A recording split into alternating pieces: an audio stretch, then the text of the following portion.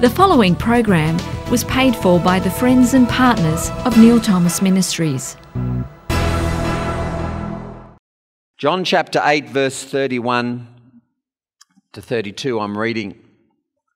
And then Jesus said to those Jews who believed him, If you abide in my word, you are my disciples indeed, and you shall know the truth, and the truth shall make you free. Powerful statement by Jesus, and this is really, I guess, the theme of my, my message is these words from Christ. If you abide in my word, you're my disciples indeed, and you shall know the truth, and the truth shall make you free. The word abide, Jesus uses it quite a bit about abiding in Him and Him abiding in us. And the word abide there in the Greek means to remain, to stay, to wait for. We often think of it as living or sitting. But if you abide in something, it actually indicated that word, that, that meaning of remaining. It's got a consistency to it. Abide in God's word, abide in the word of the Lord is I'm going to stay there. I'm going to hold on to it, I'm going to stay there. If you live somewhere, you stay there regardless of what else is around or other opportunities. This is the place I've chosen to live. So until you announce you're not living there, I guess that's where we expect to find you. And if we're looking for you, we go to where you live, where you abide, your abode, your home where you're going to remain. We expect to find that that's where you're going to stay. If you're going to uh, stay in a job, if you're going to abide in a job, if you're going to abide in a town or in a house or in an address, that's, that's now your place now. We'll call it your place of residence. And Jesus is saying to us to make His word our residence, to reside there and to remain there and to stay there. And it has this waiting in it too. You abide there because you wait there. That's where you wait for things to come. That's where you wait for the next day to start is in that place where you live and where you abide. And Jesus tells us we need to abide in His Word. We need to know His Word to be able to abide in it. But being a Christian is abiding in the Word of Jesus. It's not just getting excited about what He's done or be moved by His sacrifice, but it's abiding in His Word and living in His Word. And the word He refers to there is Logos. And we've had a bit of teaching of late uh, about Logos and Rhema, the general Word of God and the specific Word of God. And Jesus is telling us here, abide in my words. In other words, abide in my teachings. The word there for word logos in Greek can mean my essays or my explanations, my teachings, my beliefs, what I've taught you, the things that I've said to everyone. Take hold of those words and abide in them. And so, what Jesus has to say to us on so many things in life, we need to take hold of that, and that needs to be where we live. If we abide in those things, that's truly who his disciple is. It's the person who abides in his word and lives in his word and holds on to his word. And then you shall know the truth. The word know here means you'll perceive, you'll recognize, you'll understand. You won't just know about it, huh? You'll know it. To, to know the word, to know the truth of God, you've got to live in it and abide in it, not just hear it once. Hearing it once isn't going to make, uh, to make a big change, yeah?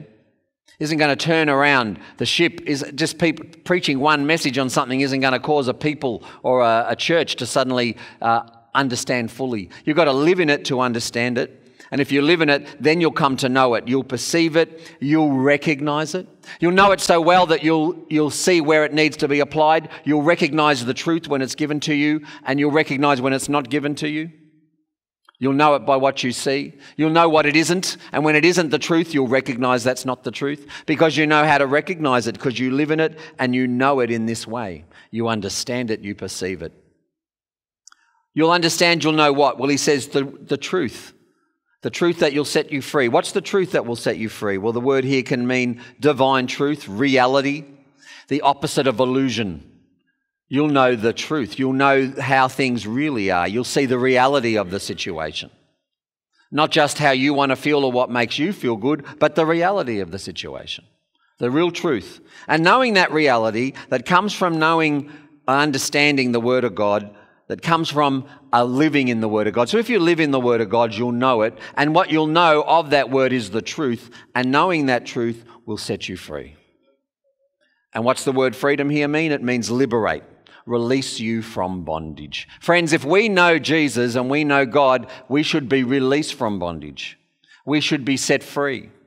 Set free of whatever comes against us, whatever would try to bind us. We can be set free. And in, that means in every area of our life. And I take it and I look over my own life and the times when I haven't abided in His word in some area of my life, that's when I've come unstuck. That's when I've gotten bound. That's when I've had trouble. And when I've come back and and started to live in what he says in that situation, then I've been able to get unleashed and unlocked and loosened from the thing that was binding me. Often the, the disappointment, the hurt, the rejection of that situation, when I will live it and address it and abide in God's word in the way I handle it. Then I'm able to be freed from it binding me. The truth will set you free. What a wonderful thing. You shall know the truth, and the truth will make you free. It will make you free. It will put you in a free place. The truth of, of Jesus Christ. Now, just saying that or singing about that once, we've got to know it. We've got to know it, and then we've got to choose to live in it and abide in it. If we'll take hold of God's word and we'll live in it, we'll stay there and we'll remain in it and be willing to wait for it, it'll set us free. Live in it, be willing to wait for it, and say, no matter what, I'm going to hold on to what it says. I'm going to live by what it says. I'm going to apply what it says. This is where I live.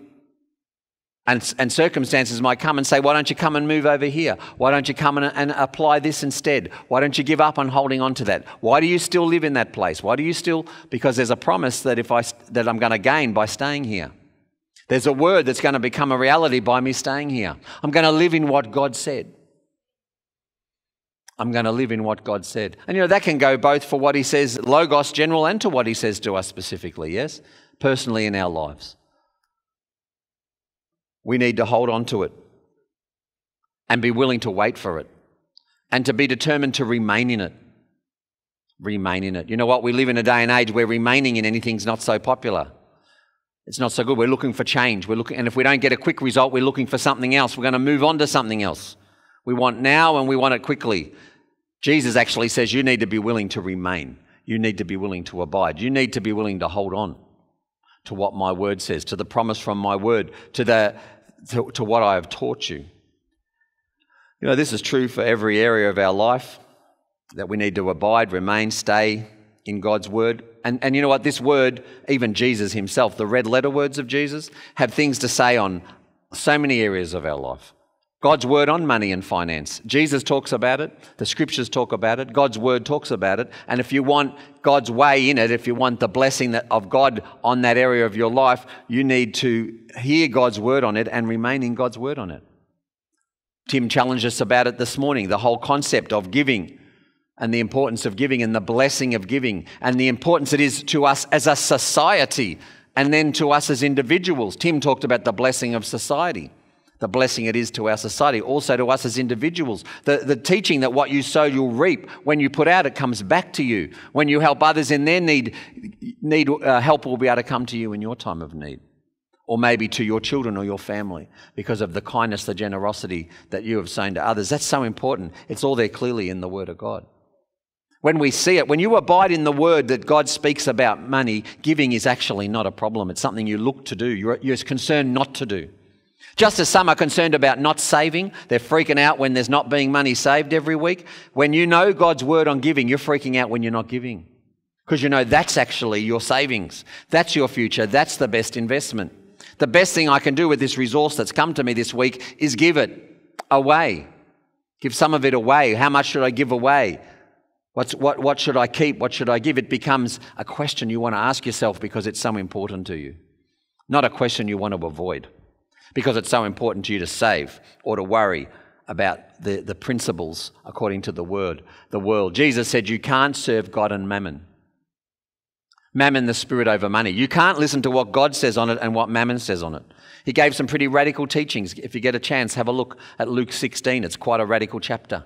Not heard very many sermons from it, where Jesus really challenges our whole thinking about money and its power and says if you're not faithful in how you handle money, then you're not going to be able to be faithful in, in other things. And he's talking about handling money according to God's word. We are so got ingrained in us. There's so much said to us about mammon, and it's become so important to us. It, it, it's the strongest voice in our life in this society. I go to societies that live in villages, and what family says is so important. The word of family, the requirement of family is over everything, including their money and their resources. That's not nowhere near as important as what family says.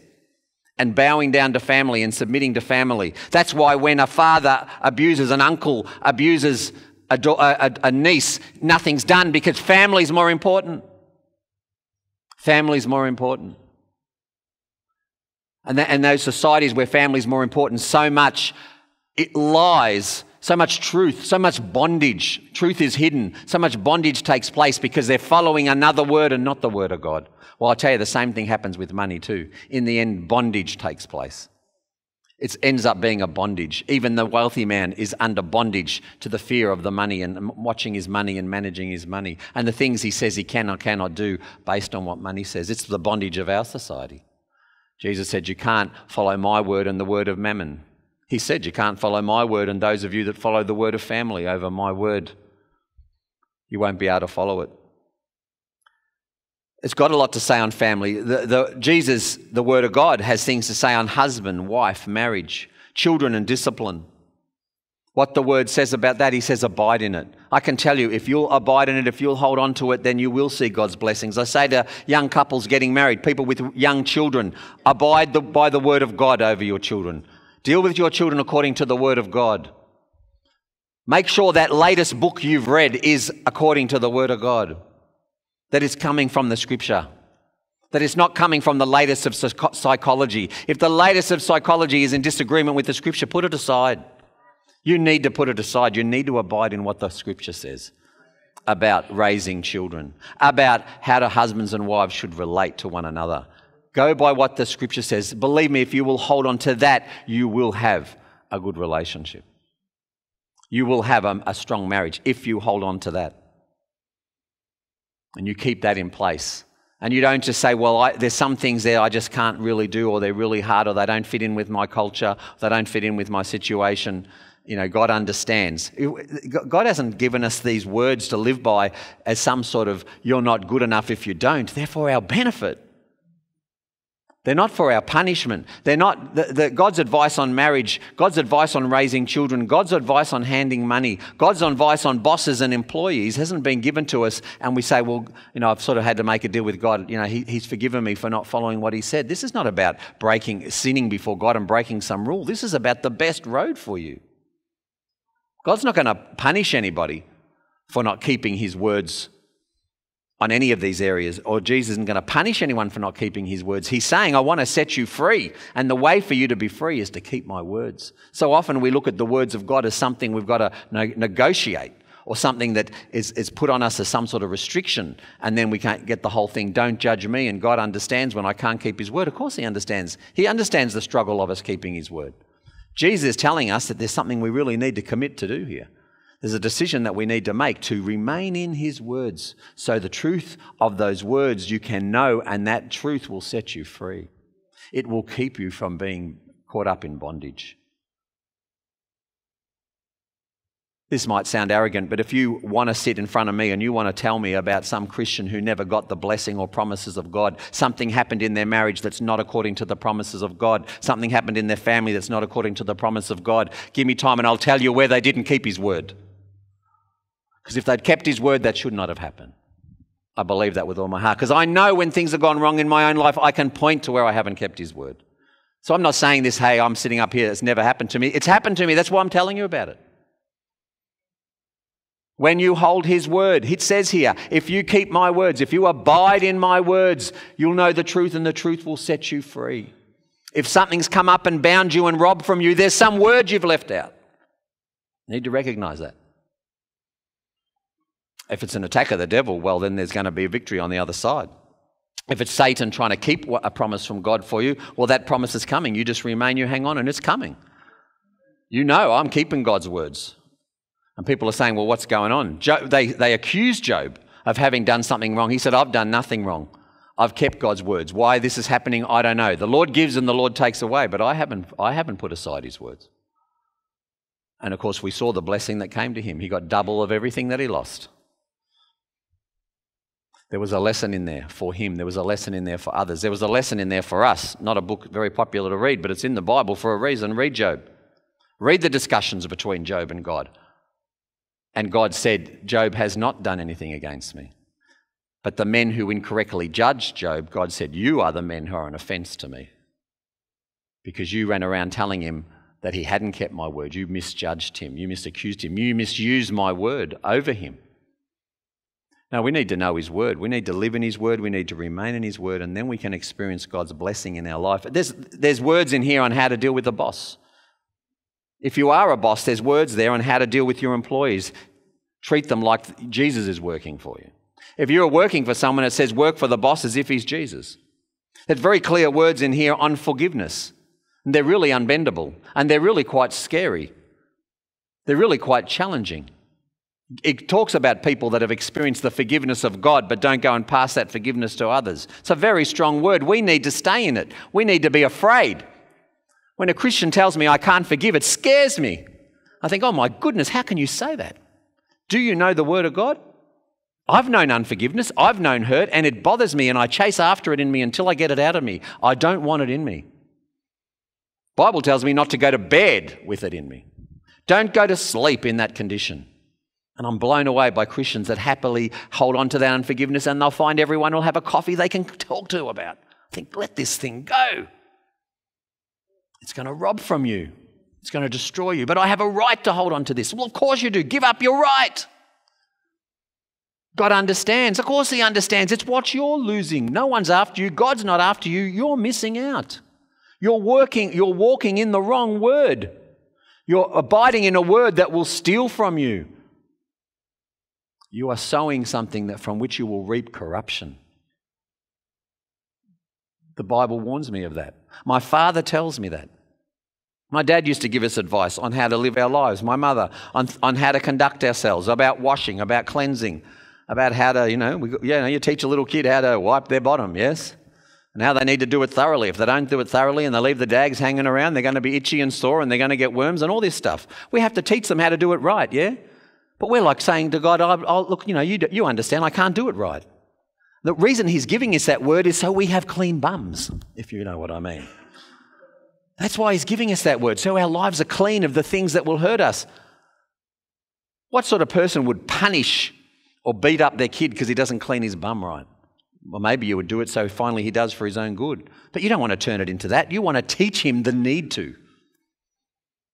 So when they're walking around at two and a half and three and saying, So, well, that's what I told you. You're in such a hurry to get back outside. You're in out there with those dags on there, and now you're, now you're all sore. Well, that's what we're talking about here again. You don't punish a kid for that. You don't judge him. You don't think he's bad. You just know he's ignoring your word on it, yes? He's not practicing it and he's not living in it when it comes to toilet time. He's not living in it when it comes to shower time. They're ignoring your word on eating, and then they wonder why at 17 they forever get the flu and the cold because they don't eat right. They don't sleep enough. See, if you get sleep, you won't have a cold once a month. But they don't ignore that word. We don't punish them for it. Which we want them to hear what we have to say, live in it, and remain in it, enjoy the blessings of it, and keep the curses of it away, which is always being tired and having headaches and getting colds all the time.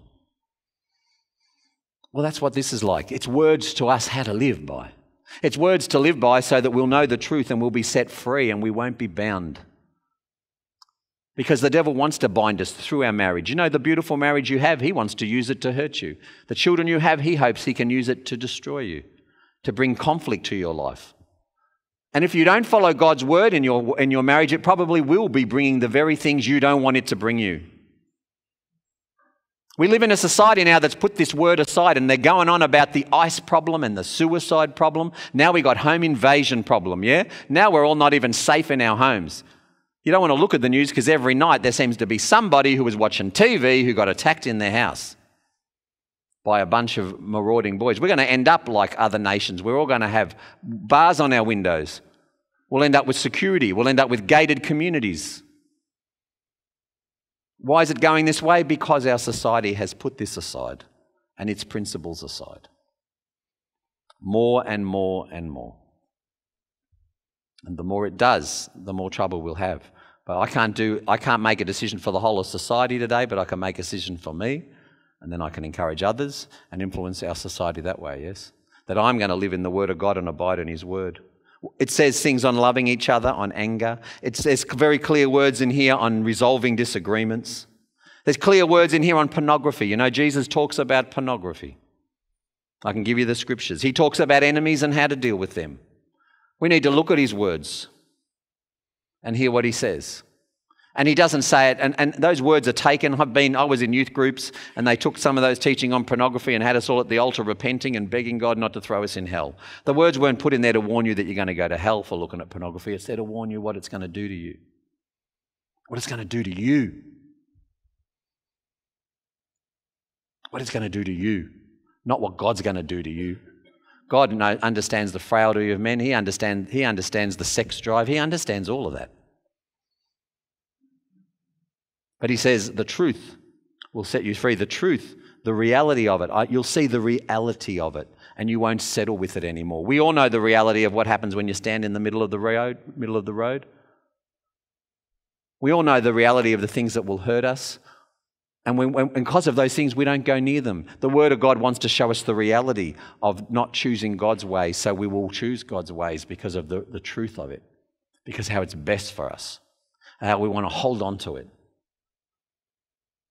Our young, our children need to hear this truth. They need to, they need to hear it, and then they need to make the decision to live in it. You don't get to make that decision for somebody, but they certainly need to hear it. They certainly need to value it. That's why I, I, I, I want to read out those words at every dedication for Isabel last week. She needs to have the Word of God in front of her. It needs to be on the front of her parents' forehead. She needs to look at her dad and see the Word of God.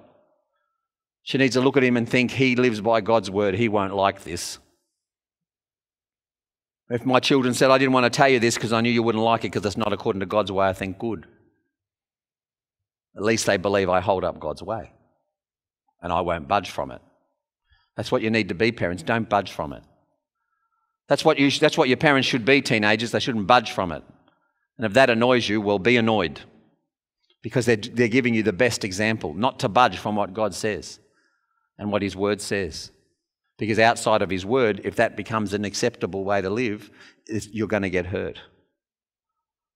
Please, I so hope you don't hear oh, God's not happy with me when I don't live according to His Word. Only like a father or mother who are unhappy with a child who not listening to their Word is going to suffer as a result. Suffer as a result. You can't afford to get offended when your children don't follow your Word. They're human, they're struggling. That's not, that's not the problem, it's the consequences of them not following. That's what God's concerned about. The consequences of us not following His word and keeping His word. King David was, was told by God that he was going to be king of Israel. He was anointed as king of Israel when he was a young teenager. He never got to be that king for something like 25 years after he was anointed. And the last seven years of that, he lived in caves and he was running around, and the king, the king of the time, was trying to take his life. And, and David um, started making alliances and he became this little group. And the Philistines, the enemies of Israel, gave him a little city to live in, or one of the kings of the Philistines gave him a city to live in. And he went off and he was, took all the men out to go and get involved in something, a, a war that never happened. And by the when they came back to the city, their city had been attacked and marauded by the Amalekites, and all their wives and children had been taken away. And all their goods had been taken away, and their city had been basically burnt to the ground.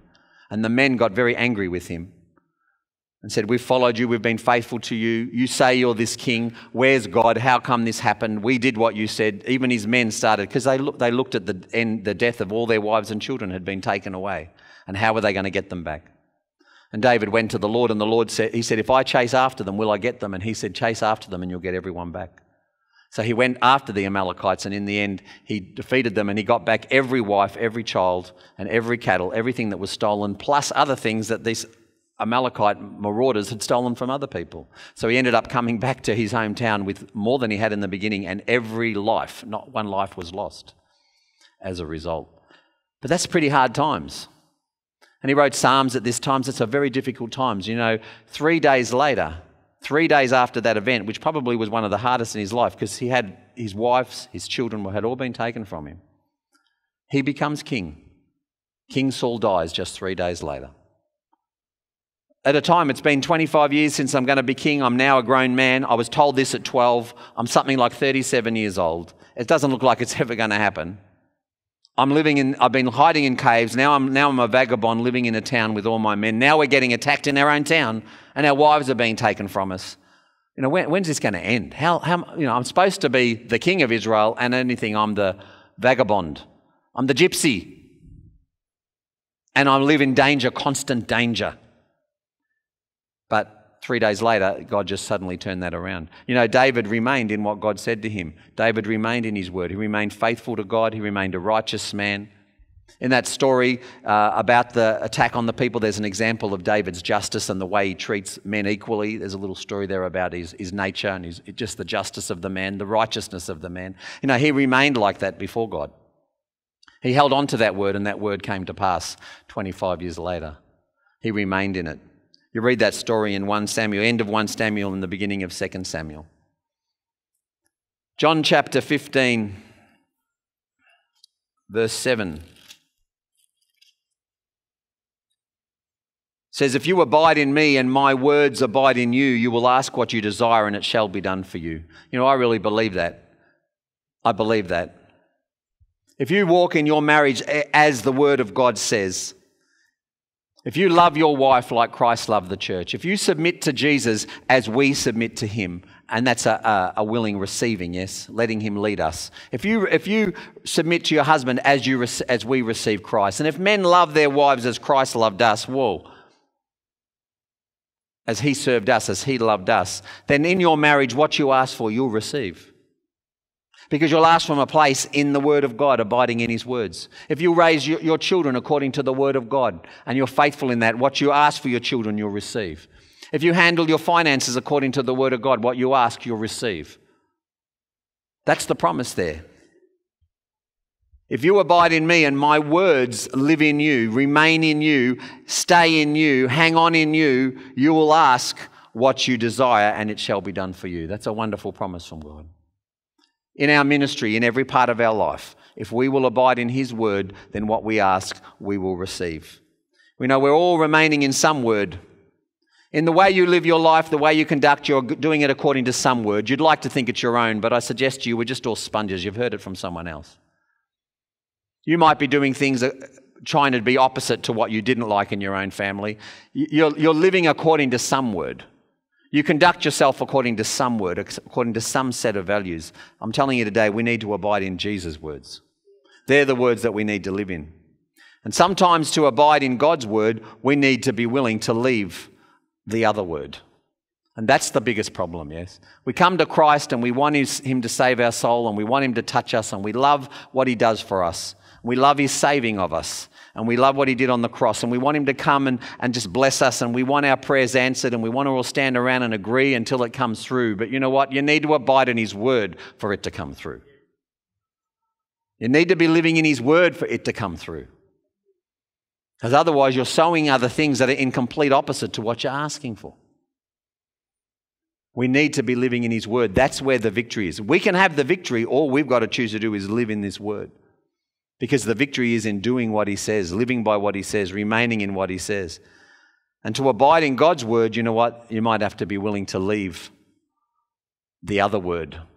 Sometimes we say, I want what Jesus says about family. I want what Jesus says about relationships. I want God's blessing, but I don't want to leave behind the, the things I'm doing and saying and the rights that I'm hanging on to and how I want it to be. I want him to come and bless my family, but I'm not about to let my husband lead.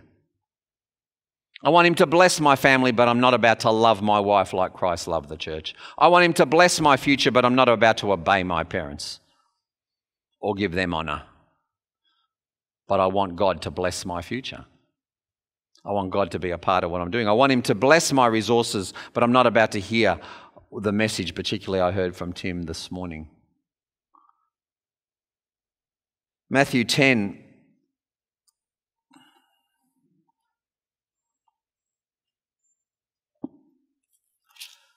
Says some strong words of Jesus, but if you think of them in light of what Jesus is offering us, Matthew 10, verse 37 says, He who loves father or mother more than me is not worthy of me. He who loves son or daughter more than me is not worthy of me. And he who does not take his cross and follow after me is not worthy of me. He who finds his life will lose it, and he who loses his life for my sake will find it. You know, laying hold of the word of God often means we need to lose, let go of some other word. To take on the life of that word, we need to let go of the life of the other word. In fact, every time it will. To start applying Jesus' words in your family means something's going to change. In your relationship, in your finance, in your work situation as a boss, as an employer, as an employee of somebody, in your relationships, in, with forgiveness, you're going to have to let go of something. And that's why Jesus speaks like this so often, because he knew for these disciples to take up his words, they were going to have to let go. They were going to have to let go. And his words would have to come over the words of family and over the, on, on the words of the, what we're told a family should do or should be. We've got to hear, no, what does Jesus tell us a family should do or should be? What do his words say? That's why Jesus said, Take up your cross and follow me. There's going to be a cross involved in this in stepping out and, and taking hold of his words. We, fe- we so fear your failure so, so much that we don't want to let go of those words. We're, we're so afraid that if I let go of those words on money, if I let go, of, if I go of my position, if I become a more loving a, a husband like Jesus, if I become a wife according to the book of Ephesians, if I become like this, I'm going to lose. I'm going to lose everything within me is telling me I'm going to lose. The words that I've heard and followed all my life say I'm going to lose. It looks to me like losing. And that's why Jesus said you've got to be willing to lose. You've got to be really willing to feel like you're losing or let go you're losing. God doesn't see you as losing, but you might feel like you're losing. You might feel like you're having to let go. Well, it's going to take letting go to apply these words of Jesus. In Genesis chapter 12, we read Abraham getting told about God's promises to him, which were promises that would affect all of us, actually. And it's just verse 1 to 3 of Genesis chapter 12. Verse 1 to 3 of Genesis 12 says, Now the Lord said to Abram, Get out of your country, from your family, from your father's house, to a land that I will show you. I will make you a great nation, and I will bless you and make your name great, and you shall be a blessing. I will bless those who bless you, and I will curse him who curses you, and in you all the families of the earth shall be blessed. Wow. What a, what a promise from God. What a blessing from, what a promise from God. What a blessing to come your way. I'm going to make your name great. You, you will be a blessing to all the families of the earth who blesses you, I will bless, and who curses you will be cursed. Who comes against you is going to have me to deal with, and who blesses you will be rewarded by me. That's what the Lord says to Abram. You know, these are the same sort of promises that we have in Christ today. This is who we are in Christ. God's made promises to you to bless you, to make you his child, to make you great, to use you, to equip you for everything he designed for you to be. He's promised us great blessings and places that go on to, into eternity. He's promised us the opportunity to share His throne with Him and share His glory with Him. Wonderful promises we have from God. But what did Abraham have to do to lay hold of that promises? He had to get out of where he was. His father and family were idol worshippers. The country that he lived in did not believe in this God. He had to get out of there. The words and the practices, the sacrifices and stuff that were going on in that land were not of God. And Abram had to get out of there. His household, he had to get out of his father's household. He had to make a decision to no longer follow the ways of his family anymore and listen to what they had to say. Sometimes that's what we have to do if the, the, the words of that house are con- continually opposite to the words of God. We've got to step out of that situation to put to abide in God's word and apply his word in our life. That sounds that can be hard. That definitely is challenging. And you don't want to do it unless you believe what I'm going to say to you and that the word of God is your hope and is your anchor and is your future. Getting a young person to make any this sort of a step and not believe it is, is crazy. They've got to believe it. They've got to step out because they've got to actually see, I want God's word and I can't have it here. I need to abide in His word, and I'm not abiding in it here. I'm not abiding in it when I do this. I'm not abiding in it when I spend my money this way. I'm not abiding in it when I speak to my wife this way. I'm not abiding in it when I refuse to submit to my husband in this way. I'm not abiding it when I don't bite my tongue. I'm not abiding it when I get angry. I'm not abiding in it when I dishonor my parents. I'm not abiding in it when I look at this stuff. I'm not abiding in it when I hang out with these complete non believers and mockers. I'm not abiding in it. I need to step away from it. But you know, you've got to see that for yourself. I can go around here and tell everybody what I think they should step away from and what word they should abide in. But now we're back to Old Testament. Here's a list of rules, and here's what you've got to do. And then you feel like this is what I have to do for God to be pleased with me. Please don't hear this message this has anything to do with God being pleased with you. You keeping his words isn't going to make God pleased with you. God's pleased with you because of Jesus Christ. We heard it this morning in the communion. Our value is in the cross, not in our keeping the words of Jesus. There are laws in this land that follow God's words, and people enjoy the benefits of it. Our, our nation's rules and laws the Western society, the Westminster system, had so much on it based from the Word of God. And we've enjoyed the benefits of it. We're seeing, as it's more and more put aside, our societies are decaying. And everybody's angry and they're voting against the politicians. They're voting, they're, they're voting no when everyone said they should vote yes. There's these divisions happening in our society. It's breaking down because of that Word of God being put aside. But, but keeping or trying to live by this word isn't what you do to get yourself right with God or pleased with God. Please don't hear that this morning. That's all done by Christ and His work, and He makes us God's child and He makes us acceptable to God. But there's no doubt that Jesus did say to His disciples that if you will live in this word and you'll abide in this word, and you'll hold on to this word and you'll remain in this word, even no matter what's going on, you'll, you'll stand in this word, the truth will set you free. Abraham stood in that word. Abraham stood in that word for, for 20 years when that, that there'd be a baby and there was no baby. He just stood in that word. He just hung on to that personal word for him. And the word for the world that said, Every family will be blessed in you. Abraham held on to that word. He remained in it. And he eventually saw the result of it. You know, we're attracted to the, the words of comfort and hope and peace that come from Jesus, and they're beautiful words. There are words of comfort and hope and peace. And he does bring comfort and he does bring hope and he does bring peace. You know, when he comes in and he touches our life with that, really in the hope that in experiencing that, we'll then turn around and say, okay, I need to apply you now to every area of my life. You're the word become flesh, and I need to apply you to every uh, word of my life. It's very easier, easy when you're promoting the gospel to promote the words of comfort and peace say, Jesus come to bring you peace. Jesus come to set you free. Jesus has come to unlock and take you out of your prisons. But you know how to get out of that prison and stay out of that prison? Live according to his word and abide in it. I see it in, in Bible college. I see young men and women come into college and they start to take the word and they live in it, and then they kind of get so far, and then now to, to what they've got to let go of to lay hold of the next thing, it becomes a little too hard. And then after a while, they don't even enjoy sitting under the word of God anymore because they just feel like it's condemning them because it's, it's shone the light on some stuff that they've said, I don't want to do this. I can't do this. I'm not going to claim this word. I don't want to follow this word. In the end, the choice is ours, and the consequences will be ours. We talk about the Word of God as food for our soul. We talk about the Word of God, we did at our dinner on Friday night, is light. A light that shines in the dark. When we're scared, it shows us it's also a light that will come in and show up the things we're hiding as well. It'll come in and it'll show up the stuff in the dark that we don't, want it to shine there. We don't want the Word of God to shine there. That's when we don't want to be around it, we don't want to hear it. But the Bible also tells us that it's a sword. The same word that feeds us, the same word that's a light unto my feet and a lamp unto my path, which, you know, in a lot of ways sounds very romantic and very nice.